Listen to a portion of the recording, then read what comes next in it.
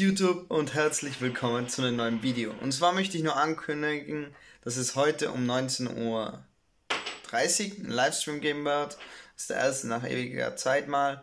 Und ja, wäre cool, wenn ihr vorbeischaut.